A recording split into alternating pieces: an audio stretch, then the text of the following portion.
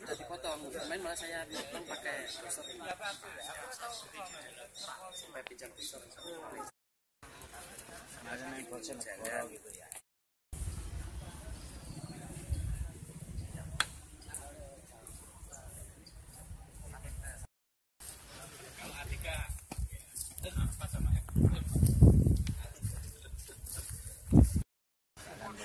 TPK waktu